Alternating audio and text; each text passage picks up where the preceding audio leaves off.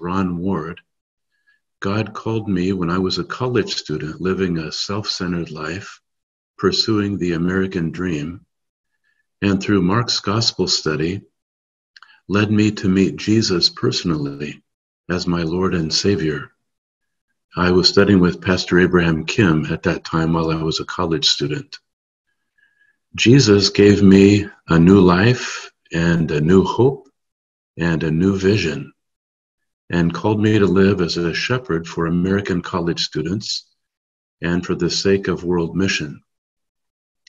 Since then, I have lived as a full time staff member in UBF by God's grace.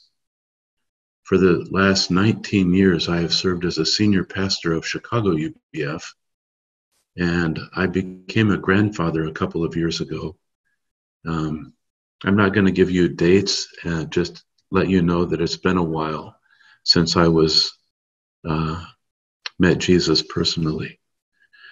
I really thank God for the encouraging presentations of Dr. Ezra Cho and Missionary Wan So.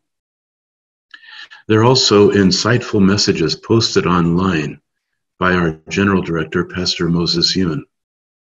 And I trust that everyone has read or listened to his message. It's really very helpful in understanding the post COVID 19 world, and it gives clear spiritual direction for us to respond well as God's people. I found it quite enlightening and helpful.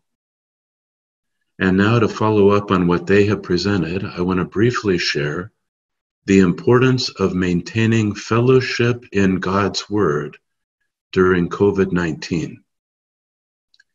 1 John 1 3 says, We proclaim to you what we have seen and heard, so that you also may have fellowship with us.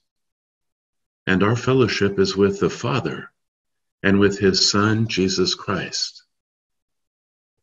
Fellowship in the Word of God has always been central to the ministry of University Bible Fellowship. Most of our ministry activity has been focused on Christ centered Bible study, both one to one and in small groups, sharing reflections based on our Bible studies, worshiping together with well prepared Christ centered Bible messages, and praying together. As we have all experienced, when we hear and respond to God's word with sincere repentance and faith, the word of God transforms us as individuals and helps us build up a loving spiritual community. The appearance of COVID 19 has brought about a change in the way we carry out our ministry from in person to mostly online. In Chicago, we made this transition in the middle of March. We began having online Sunday worship service, Bible studies, campus fellowship meetings, elders meetings, staff meetings, etc. When we began online ministry, we had to take a crash course in new technologies. Especially Shepherd Tim McKeithron and missionary Joshua Min spent many sleepless nights to master and implement new technologies for our Sunday worship service. By God's grace, we learned how to do it and could provide a quality online worship for our members. What has been the result? Initially, our worship attendance increased dramatically. We usually had between 750 and 900 views for our weekly Sunday worship service. Once we even had 1,100 views. Before going online, our in person worship attendance was about 300 to 325 per week. Three weeks ago, we, we resumed in person worship in smaller groups. Now, about 100 persons in total attend three different services in person each week. We're careful to keep the civil regulations for distancing, wearing masks, hand washing, and sanitizing, and so forth. We also have about 450 to 600 online views per week. Among those who worship online are some of our former Bible students, even from the 1980s and 1990s. They moved to different states. We hadn't heard from them for a long time, but somehow they found our online worship service and tuned in. And some of them were so encouraged by the Word of God, they called their Bible teachers and resumed one to one Bible study with them. These people are growing spiritually and having an influence on their families, friends, and communities. The number of one to one Bible studies was initially about 200 per week before COVID 19. This number was unaffected by the change to online meeting. I'm especially grateful for our older members who have learned new technology to continue having Bible studies with their precious Bible students. Some of our members found the opportunity to invite again those they had met on campus in the past. And the number of our one to one Bible studies is going up, uh, recently passing 250. Our elders and leaders are praying positively to have 500 per week. Many people thought that our offering may decrease when we went online, but we learned how to offer via QuickPay, even our older members and the amount of our Sunday offerings has not decreased at all. In fact, it has increased, even though many also have given sacrificially for the relief of UBF leaders internationally. Based on these facts, I can say that our chapter's spiritual strength has not diminished, but has been growing during the past five months.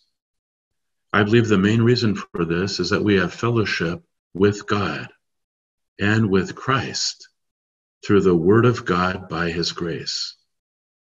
1 John 1 3 says, We proclaim to you what we have seen and heard, so that you also may have fellowship with us. And our fellowship is with the Father and with His Son, Jesus Christ. When we hear the gospel through the apostles' teaching and accept it, we enter into fellowship with the Father God and our Lord Jesus Christ. Since the Father and Son are infinite and eternal, this fellowship transcends time and space. It crosses all human barriers to unite us as one. This fellowship strengthens us to overcome the world and shine the light of the gospel in these dark times. Though it has been God Himself who has worked among us, I am also grateful for his dedicated servants. I am grateful for the deep commitment of our Chicago staff and leaders to study the Word of God, share Christ centered messages, and to teach the Bible as a priority. I'm grateful for the love of God in the hearts of our members, which has compelled them to find new ways to have Bible study and to be faithful to their beloved Bible students. Recently, about 40 members from the Midwest participated in the Global Project with Steve Shadrach and met college student workers from around the USA and the world who are looking for ways to share fellowship and have student ministry in the new semester and new year. Uh, they have learned many things, and I believe they're going to practice them. We are eager to learn from them and support them in campus ministry in the months to come. I'm grateful for the earnest prayers of our elders and all leaders and members for the ministry of God's Word. I'm grateful for the grace of our Lord Jesus Christ, who has empowered us to serve His Word by the strength the Holy Spirit gives. I've shared about Chicago UBF because I can testify firsthand to God's work here. I believe this has also been the experience of many brothers and sisters throughout the UBF ministry. My prayer is that we may stay focused on Christ centered Bible study, engaging all the technologies and tools available so that God's Word may be proclaimed in every way possible, through every means possible, and that we may have fellowship in God and in Christ with one another. He will give us his strength to overcome the world and shine the light of his love and his saving grace in this dark world. I thank God for the online forum. I believe this is a very important way for us to share fellowship in God's Word. Thank you.